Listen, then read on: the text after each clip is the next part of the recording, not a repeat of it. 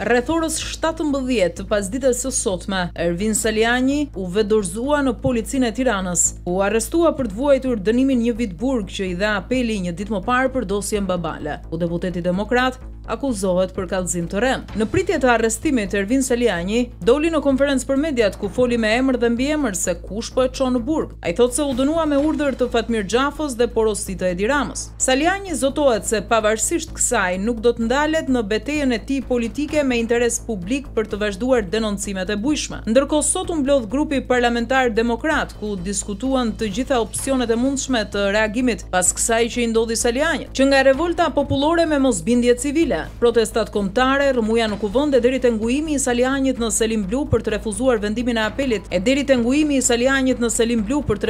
vendimin e Apelit për dënim me burg, formë kjo që mund të bëhej përmes rojës që do i bënin njëzet e katër orë me rotacion deputetët demokratë për një kohë të pacaktuar. Por Ervin Salianji e refuzoi kategorikisht këtë opsion të fundit. duke u shprehur i bindur se do të vetëdorëzohej për të vuajtur dënimin. Në momentin që Ervin Salianji u vetëdorëzua, me qindra mbështetës demokratë protestuan para ambienteve të Policisë së Tiranës, revoltë që demokratët premtojnë se do ta vazhdojnë, si jashtë, ashtu edhe brenda Kuvendit. Ndërkohë që herët në mëngjes, pa pritur më shumë, u caktua direkt prokurorja që autorizoi arrestimin e Salianjit, Elona Alvora. E me vrap posta u dërgua në polici për ekzekutim. Ndërkohë socialistët, ndryshe nga ç'veprojnë për të vetët që refuzojnë dhe Gjykatën Kushtetuese për t'i mbrojtur, për Ervin Salianjin nuk mblodhën as Këshillin e Mandateve. Këtë të fundit e kërkuan me urgjencë demokratët. Por kryeparlamentarja Spiropali refuzoi duke e çuar direkt në burg Salianjin. Ndërkohë po sot, u zbardh vendimi i Apelit ku theksohet se Salianji ka dyzet e pesë ditë kohë për rekurs në Gjykatën e Lartë.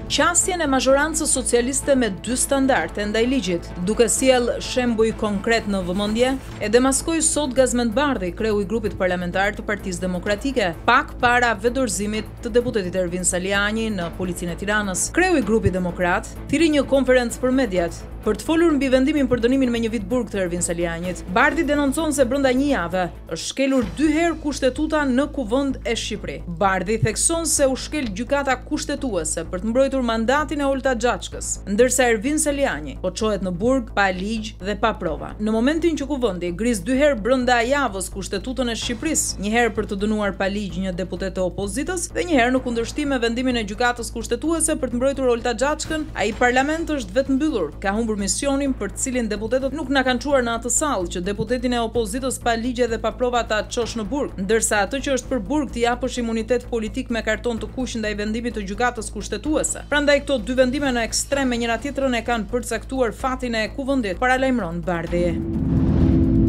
Nga socialistët nuk është se po vijnë shumë reagime për dënimin e Ervin Salianjit, pasi janë vetë autorë në një farë mënyre, por socialisti Erion Braçe qenka mërzitur shumë me zhurmën që po bëhet për këtë çështje dhe i hakërrehet Ervin Salianjit që nëse ka këllqe të përballojë aktin ekstrem. Madje madje Erion Braçe paska një skenar të qartë në kokë se pse po bëhet e gjithë kjo zhurmë nga Partia Demokratike, që të sabotojë procesin e integrimit europian. Ky tensioni që po përcillet tani përmes telefonëve vesh më vesh, do ikim nga parlamenti, do i vëmë zjarrin, Kush ka këllqet të përballojë aktet ekstreme me burim Partinë Demokratike, nuk ka të bëjë me fatin e njërit prej tyre. Zero. Nesër Komisioni i Integrimit duhet të miratojë draft-pozicionin e Shqipërisë për kapitujt e parë që janë dhe më të rëndësishmit. Për këtë po bëhet e gjitha. Nuk e duan këtë, nuk e kanë dashur kurrë dhe nuk e duan as tani dhe do bëjnë çmos ta sabotojnë këtë proces, që mund ta bëjë Shqipërinë edhe para vitit dy mijë e tridhjetë anëtare të Bashkimit Europian, thotë Braçe. Mirëpo kolegja e Komisionit të Linjës, Jorida Tabaku ia ktheu një përgjigje, edhe pse mbledhja u shty. Partia Demokratike e ka nisur këtë proces. Ne dhe Europa jemi një e s'ka provokim nga Partia Socialiste që ndan PD-në nga Europa. Angazhimi ynë në këtë proces ka qenë i qartë. Sot kishte nevojë për kohë për t'i analizuar në detaje materialet, pasi njëzet e katër orë nuk ishin mjaftueshme, thotë Tabaku.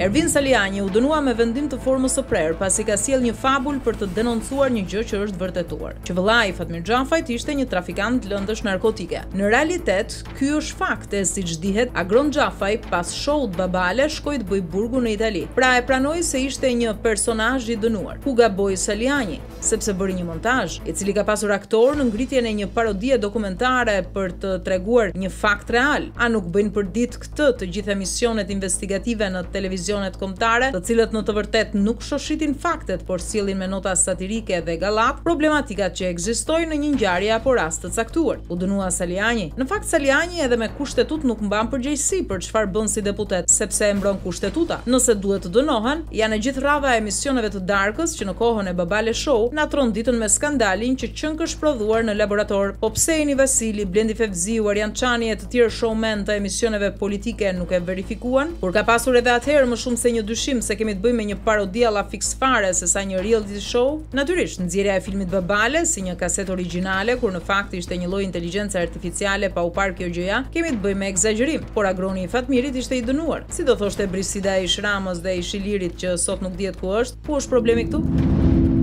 Bashkëshorti i socialistes Ermonela Felaj, prokurori i Tiranës Bledar Valikaj u thirr sot në SPAK. Pas më shumë se dy orësh, bashkëshorti i deputetes Felaj, e kyçi gojën për mediat, por mësohet se Valikaj është thirrur në SPAK për të dhënë sqarime për një dosje nën hetim e cila dyshohet se është për çështjen Toyota Yaris. Janë pyetur edhe ish-funksionarë të tjerë të drejtësisë lidhur me dosjen që çoi në pranga ish-kreun e Prokurorisë së Vlorës, Aurel Zarka. Valikaj është akuzuar publikisht si i përfshirë në dosjen Toyota Yaris nga kreu i grupit parlamentar demokrat Gazment Bardhi. Më herët po ashtu ai është akuzuar nga opozita se hyri në sistemin e drejtësisë si prokuror pa ndjekur procedurat e vetingut. Të ardhurat e shqiptarëve nga puna jashtë vendit këtë vit kanë arritur vlerat më të larta historike. Të ardhurat nga ky zë në bilancin e pagesave për gjysmën e parë të këtij viti kishin vlerën e dyqind e nëntëdhjetë e tetë milionë eurove, në rritje me tetëmbëdhjetë për qind krahasuar me të njëjtën periudhë të vitit të kaluar. Me këtë shifër, të ardhurat nga puna dhanë një kontribut të rëndësishëm në prurjet valutore në ekonomi dhe në ngushtimin e deficitit të llogarisë korrente. Në terma neto, të ardhurat nga puna kishin vlerën e dyqind e shtatëdhjetë e tetë milionë eurove, me një rritje edhe më të madhe, prej njëzet për qind krahasuar me gjysmën e parë të vitit të kaluar, sipas metodikës së bilancit. Sit të pagesave, të ardhura nga puna jashtë vendit klasifikohen kompensimi i punonjësve që përfshin pagën, shpërblimet dhe përfitime të tjera të fituara nga individët jorezidentë në një ekonomi për punën e kryer për rezidentët e kësaj ekonomie. Në këtë kategori punonjësish përfshihen punonjësit sezonalë apo ata që punësohen për një periudhë shkurtër më pak se një vit, si dhe punëtorët kufitarë, të cilët e kanë qendrën e interesit të tyre ekonomik në vendin e tyre të origjinës, siç analizon Monitor, duke parë flukset hyrëse nga jashtë, shpesh të ardhurat nga puna jashtë vendit, i bashkëngjiten dërgesave të emigrantëve dhe klasifikohen si pjesë e të ardhurave totale nga remitancat në ekonomi. Ka mbi dy ditë që një vajzë është zhdukur në Tiranë, por policia e kryeqytetit jo vetëm që nuk po bën asnjë veprim për ta gjetur dhe për të kapur autorët, por po pengon operacionin. Bëhet fjalë për një vajzë njëzet e një vjeçe me inicialet UQ, nxënëse e gjimnazit të Yzberishtit, Myslim Shima, e cila i përket pjesës me nevoja të veçanta, ndaj edhe mosha e saj është e lartë e jashtë logjikës normale të nxënësve të tjerë. Vajza jeton vetëm me nënën dhe me motrën, e cila është gjithashtu me si të veçanta, ndërsa babai i saj ndodhet në emigracion. Ëma e vajzës ka dy ditë që kërkon në polici vajzën, por komisariati numër gjashtë i Kombinatit nuk ka bërë hapat e duhur, kemi të bëjmë së paku me neglizhim, por ka mundësi edhe më tej, themi kështu pasi policia edhe pse kanë kaluar dyzet e tetë orë nuk ka hapur kamerat e sigurisë së shkollës apo edhe bizneseve rreth e rrotull kur nga ky operacion mund të shikojë situatën. Banorët e zonës të shqetësuar së bashku me komunitetin e shkollës i janë drejtuar Pamfletit që të publikojë këtë fakt si një shqetësim e i kërkojnë urgjent që të gjendet vajza. Siç mësohet shumë shpejt një komunitet i Yzberishtit do të shkojnë te Ministria e Brendshme, ku pritet të denoncojnë policinë për një sjellje të rëndë karshi një familje të varfër dhe me probleme të mëdha. Policia e Fierit ka arrestuar Kreshnik Gashin për vrasjen e Elton Javorit, Në dhjetor të vitit dy mijë e njëzet e tre në Fier, ndërsa është vënë në kërkim vëllai Agim Gashi, tridhjetë e tre vjeçari banues në Fier, ishte shpallur në kërkim pasi në vitin dy mijë e njëzet e tre në bashkëpunim me vëllain e tij, dyshohet se e kanë vrarë për motive të dobëta shtetasin Elton Javori.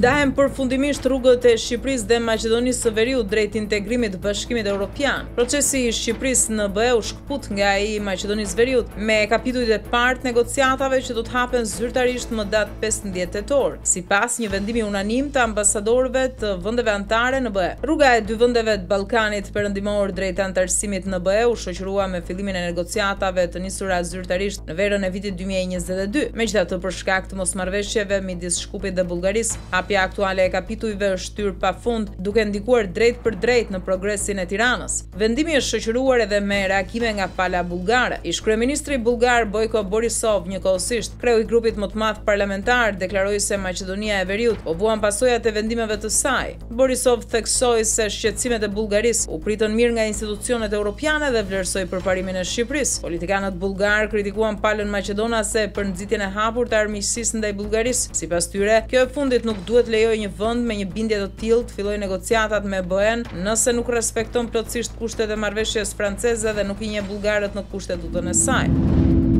Kryeministri serb Millosh Vuçeviç komenton fjalimin e presidentit Aleksandër Vuçiç në OKB. Sipas kryeministrit serb, presidenti bëri një prezantim faktik dhe të argumentuar të gjithçkaje që po ndodh në botë dhe nënvizoi se marrëdhënia midis Serbisë dhe Kosovës është një terren prove për lojtarët e mëdhenj ndërkombëtarë. Kryeministri serb akuzon sërish homologun e Kosovës, Albin Kurti, se për përfitime elektorale në prag të zgjedhjeve po dëbon serbët nga veriu. Sipas Vuçeviç, është e rëndësishme që serbët të mos dorëzohen përballë lëvizjeve të Kurtit, ndërsa kërkon nga të vetët që të veprojnë me mençuri, pasi në veri operojnë forcat e KFOR-it dhe Beogradi nuk kërkon konflikt. Me NATO-n, Qeveria italiane rikthen ligjin e Duçes në sistemin arsimor në vend. Bëhet fjalë për kohën fashiste të Benito Mussolinit për sjelljen e keqe të nxënësve, si një tentativë për të ndrequr sjelljen në shkollë. Ligji synon të ndalë sjelljen e keqe të nxënësve në një kohë kur është rritur ndjeshëm shqetësimi për agresionin ndaj mësuesve në shkollat fillore dhe të mesme. Masa e kohës së Mussolinit mbeti në fuqi deri në mesin e viteve shtatëdhjetë përpara se të shfuqizohej në shkollat fillore dhe të mesme pas protestave të studentëve. Ajo iu nënshtrua ndryshimeve gjatë viteve përpara se të shfuqizohej përfundimisht në të gjitha shkollat në vitin dy mijë, por politika e notave të sjelljes është pjesë e një projektligji arsimor të miratuar në Parlament me njëqind e pesëdhjetë e katër vota pro dhe nëntëdhjetë e shtatë kundër që u jep shkollave aftësinë për të gjykuar nxënësit bazuar në sjelljen e tyre. Nxënësit që shënojnë pesë ose më pak nga dhjetë pikë në sjellje do të humbasin vitin dhe duhet ta përsërisin atë dhe nëse pozita e tyre mësimore është e mirë. Nxënësve të shkollave të mesme që shënojnë vetëm gjashtë në rezultatin e sjelljes do t'u kërkohet të bëjnë një test qytetarie. Renditja në bazë të sjelljes së tyre do të ndikojë shumë edhe në pjesëmarrjen në provimet vendimtare përfundimtare. Po ashtu, gjoba nga pesëqind deri në dhjetë mijë euro do të aplikohen për akte agresioni ose dhunë ndaj stafit të shkollës. Xhuzepe Valditara, ministër i Arsimit në. Qeverinë Meloni, thotë se reforma e notave të sjelljes rikthen rëndësinë e përgjegjësisë individuale dhe centralizon respektin për njerëzit e të mirat publike, duke rikthyer në vend autoritetin e mësuesve. Sakaq, vetë kryeministrja Meloni thotë se ndryshimi do të rikthejë respektin në shkolla. Qeveria italiane po planifikon të vendosë gjoba deri në dhjetë mijë euro për pilotët e avionëve që kërkojnë varkat me emigrantë në det, pa njoftuar autoritetet. Sipas një projektdekreti të qeverisë, kjo bëhet për të parandaluar ardhjen e emigrantëve të paligjshëm. Sipas dekretit, avionët që nisen ose zbarkojnë në Itali dhe kryejnë një aktivitet me qëllim kërkim-shpëtim duhet të informojnë menjëherë autoritetet për çdo emergjencë dhe të zbatojnë urdhrat e tyre. Shkelja e këtyre urdhrave mund të rezultojë në ndalimin e avionit për njëzet ditë dhe në rast të shkeljeve të përsëritura konfiskim. Urdhri vjen pas një goditjeje të re të emigracionit në maj, kur qeveria Meloni ndaloi avionët e përdorur nga organizatat bamirëse për të dalluar varkat e emigrantëve që të përdornin aeroportet pranë korsive të transportit. Organizatat bamirëse reaguan me zemërim dhe disa i injoruan masën. Dekreti i ri parashikon gjithashtu masa më të ashpra kundër mashtrimit në sistemin e vizave emigruese. Meloni denoncon mashtrimin si provë se organizatat kriminale janë infiltruar truar në sistem për t'u dhënë viza atyre që nuk kanë të drejtë t'i marrin ato. Dekreti thekson se punëdhënësit që në tre vitet e fundit kanë paraqitur kërkesë për punësimin e një punonjësi të huaj, por nuk janë miratuar, nuk do të lejohet të aplikojnë më. Presidenti i Ukrainës Volodymyr Zelensky do të takohet sot me kandidatin republikan për president në SHBA, Donald Trump. Mësohet se takimi do të mbahet në Trump Tower. Në një konferencë për shtyp, Trump shprehu besimin se ai mund të arrijë një marrëveshje me liderin rus Vladimir Putin dhe presidentin ukrainas. Unë besoj se do të jem në gjendje të bëj një marrëveshje midis Putinit dhe Zelenskyt shumë shpejt. Nuk dua t'jua them se si, thotë Trump. Ai sqaron se strategjia e tij nuk ka të bëjë me një dorëzim dhe ka si qëllim të shpëtojë jetë. Ky takim vjen një ditë pasi Trump sulmoi për të disatën herë presidentin Zelensky, duke thënë se çdo marrëveshje për t'i dhënë fund luftës është më e mirë se situata aktuale në Ukrainë. Zelensky do t'i paraqesë Trumpit planin e tij të fitores me të cilin synon të arrijë paqe me Putinin dhe Rusinë për luftën në Ukrainë. Këtë plan Zelensky ia paraqiti presidentit Biden dhe të njëjtën gjë do të bëjë me kandidatët për Shtëpinë e Bardhë, Trump dhe Harris. Organizata e Kombeve të Bashkuara jep alarmin se në shtatëdhjetë e dy orët e fundit mbi tridhjetë mijë njerëz, kryesisht sirianë, kanë kaluar në Siri nga Libani. Bilanci vjen në kuadër të konfliktit në përshkallëzim midis forcave izraelite dhe Hezbollahut, që ka vrarë qindra njerëz në Liban. Rreth tetëdhjetë për qind e atyre që kalojnë janë sirianë dhe rreth njëzet për qind janë libanezë, ndërsa rreth gjysma janë fëmijë e adoleshentë. Pothuajse një vit pas fillimit të luftës në Gaza, Izraeli e ka kthyer fokusin e tij në Liban, duke rritur ndjeshëm fushatën e tij kundër armikut të tij kryesor, Hezbollahu. Ekziston frika se operacionet ushtarake të Izraelit në Liban do të jenë të njëjta sikurse ato në Gaza, të cilat pasojnë urdhrat e evakuimit, zhvendosjet masive dhe sulmet dërrmuese ajrore. Naomi Campbell ka dalë në deklaratën e saj të parë pasi u zbulua se paratë që mori organizata që ajo themeloi për bamirësi po i hanin në hotele me pesë yje, SPA e cigare. Duke mos ditur se çfarë po ndodhte në bamirësinë Fashion for Relief, që ajo themeloi në vitin dy mijë e pesë, e cila kombinonte modën dhe bamirësinë, Naomi Campbell pranon që nuk e kishte nën kontroll organizatën. Ne po shqyrtojmë rastin pasi nuk e kisha kontrollin mbi organizatën. Unë ia besova operacionin e saj një avokati, kështu që tani po kërkojmë të zbulojmë pse dhe si çdo gjë që bëj dhe të gjitha paratë që fitoj shkojnë për bamirësi, thotë ish-modelja. 54-vjeçarja nuk i mbajti dot lotët gjatë marrjes së çmimit për anëtarësimin e saj në Urdhrin e Arteve dhe Letrave. Hetimi i Komisionit për Bamirësinë e Campbell zbuloi se nga katër pikë tetë milionë paund të mbledhura për Fashion for Relief midis viteve dy mijë e gjashtëmbëdhjetë dhe dy mijë e njëzet e dy, vetëm treqind e tetëdhjetë e nëntë mijë paund u dhanë për bamirësi.